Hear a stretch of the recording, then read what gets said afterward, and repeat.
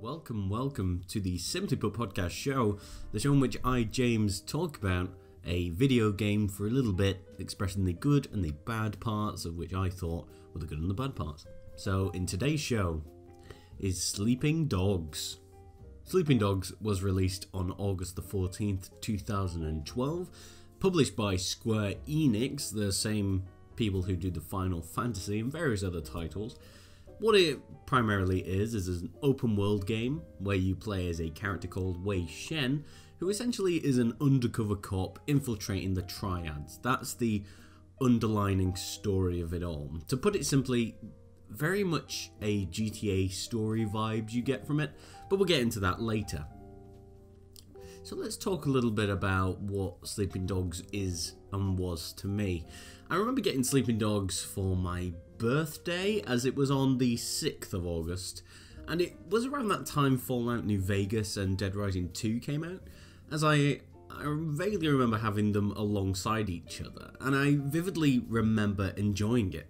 Sitting on the couch, playing and playing until I literally fell asleep playing it one time. So recently, the Definitive Edition was released for free for Xbox One users who have a gold subscription, and I decided to relive the game. And in doing so, I realized why I felt so good and almost addictive.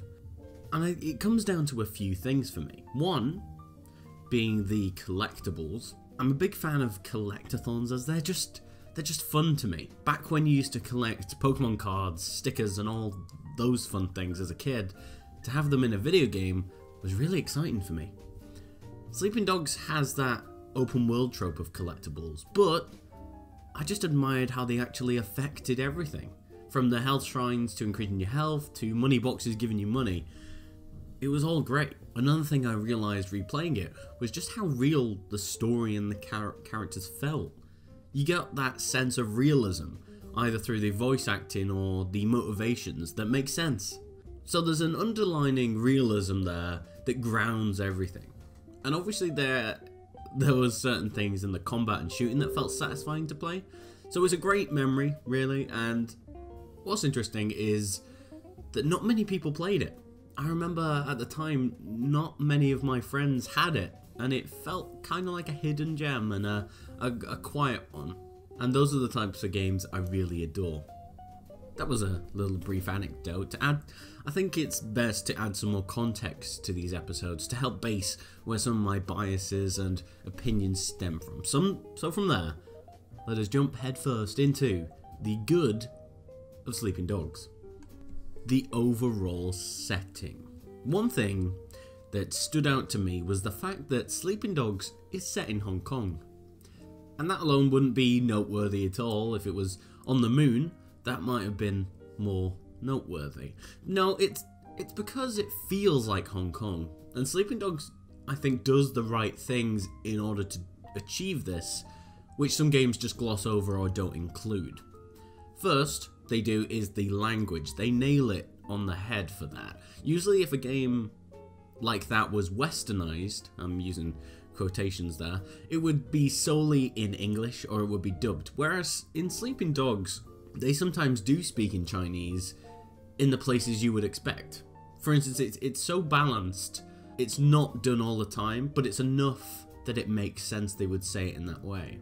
For instance, if someone was doing a. If someone was swearing, they would say it in Chinese because that's what they're used to and that's in their grassroots. And it's that care and detail in what they choose and didn't choose to translate into Chinese is what I really admire. And the second thing they do is the locale. From the signs in the alleyways to the marketplace, it again shows they took the time and care to study what Hong Kong, what a Hong Kong street would actually look. And it feels so genuine in doing so. It goes to show that if you have the reference material and the creative eye to apply it, you can pull it off really, really well. So even though it's easy to brush off that it's just a place, the little details are there if you look in Sleeping Dogs, and they really do pay off to bring it to bring that good degree of simulation and realism. Sound design and cars. I've chosen to place these two features in as both You know, one and the other, because I think they really do complement one another. The sound design in Sleeping Dogs really adds to that Hong Kong immersion, what I spoke about in the first section. From the bustling streets to the cars whizzing by, it, it feels really fine tuned. The best part of the sound design, though, has to be the radio, by far, and this is why I've linked them two together. I know when a game's music is good, when I stay in a car in game for as long as possible and purposely drive around the mission point until the song finishes. And with Sleeping Dog's case, half of the soundtrack is on my computer anyway. It's just that good.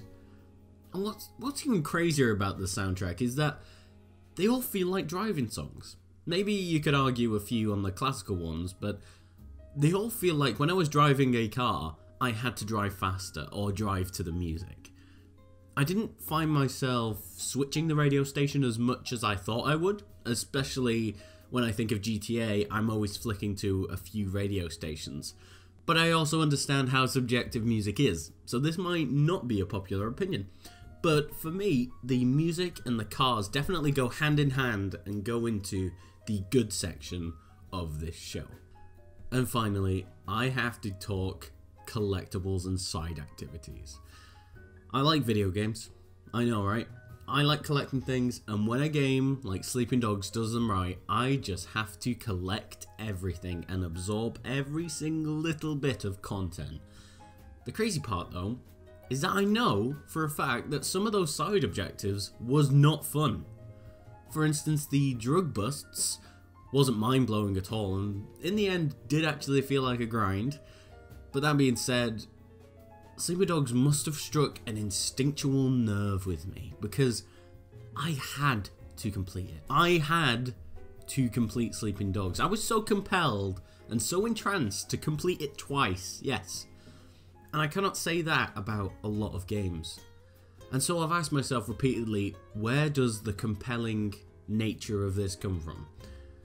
I've asked myself this so many times, and I think it's down I've chalked it down to the feeling of being satisfied with the rewards given. From the gameplay side, you have the bullet time mechanic, you have jumping on cars in slow motion, smashing people into fish tanks. Everything about the game felt so satisfying and gratification, instant gratification. And I think I sensed the care and the love that went into this game. Everything was so fine tuned, and it wasn't phoned in, and it wasn't even needed. No one was expecting Sleeping Dogs, and yet it was made. And those are the games that I think should be praised the most. So from there, now you can imagine that I don't have many bad things to say on Sleeping Dogs. And you would be right. However, there is just one, only one thing that infuriated me about the game so much. And that is the boats. Yes. Trying to control a boat in Sleeping Dogs is like trying to physically push the boat from within the water. I don't know whether it was my controls, I don't know if it was intentional, but all I know is controlling a boat in that game is so infuriating. It has to be down to the turning circle because if you was on a straight path, you're fine. But if you had to turn in any way any way at all, slight left, slight right, you are screwed. You are literally screwed. But as I say, that is the only bad thing I could think of about Sleeping Dogs. The DLC wasn't anything to boast about, but they weren't bad per se. They're just typical DLC. So, those are my thoughts on Sleeping Dogs. Let me know if you agreed or disagreed in the comments below. And if you have any opinions of your own, I really do love to read them. Share this if you know someone who likes sleeping dogs. I have been James, and you have just watched the Simply Put podcast show. Goodbye.